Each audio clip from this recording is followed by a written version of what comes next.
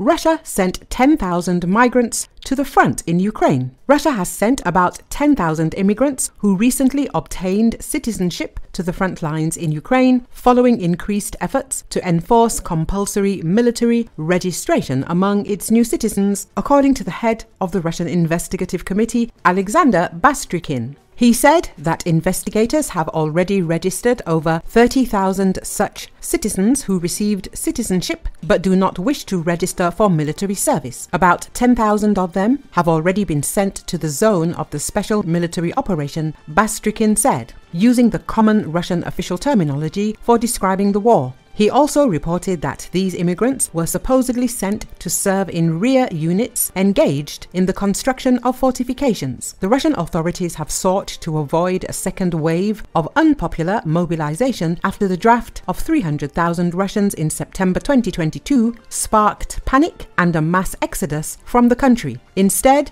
they have tried to attract people to the army with lucrative contracts. Additionally, Russia has intensified the recruitment of mercenaries in global south countries. Russia offers a registration bonus of $2,000 and monthly salary of $2,200 and the promise of obtaining a Russian passport.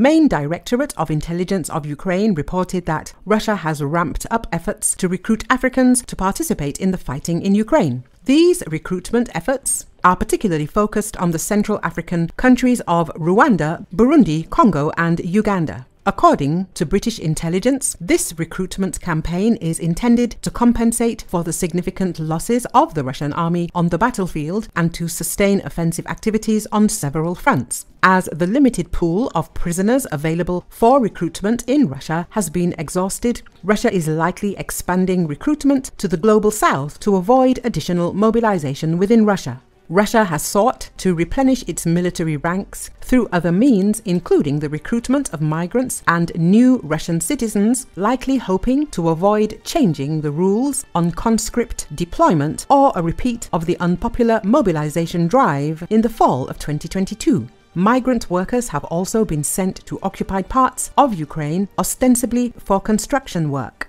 However, after they arrive, reports allege that their passports are confiscated and they are pressured to go and fight. Russia has also attempted to recruit foreigners directly from countries in the surrounding region, such as Kazakhstan or Armenia.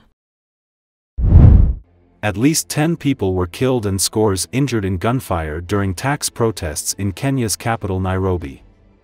The police clashed with hundreds of demonstrators seeking to prevent the passage of a bill that would raise a number of taxes.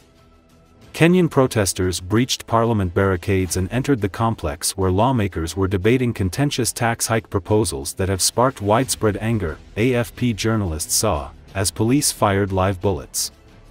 Hundreds of protesters broke through barriers erected by the police outside parliament in the capital Nairobi, with police firing live rounds and leaving many wounded, according to Amnesty International Kenya. Protests forced President William Ruto on Sunday to express his readiness to engage in dialogue with demonstrators led by a youth group. Ruto hailed the youth for speaking out on political issues that affect them while attending a church service in Nyahururu, central Kenya. The president said, Our young people have stepped forward to engage in the affairs of their country. They have done a democratic duty to stand and be recognized, and I want to tell you that we are going to have a conversation with you to identify your concerns and work together as a nation. Amendments to the bill look set to be approved but some of the controversial provisions initially put forward included a plan to introduce a 16% sales tax on bread and 25% duty on cooking oil. There was also a planned increase in the tax on financial transactions as well as a new annual tax on vehicle ownership amounting to 2.5% of the value of the vehicle. The government said it was dropping these measures amid a public outcry. Kenyans are protesting over a new finance bill that introduces unpopular tax proposals that have drawn a lot of anger across the nation.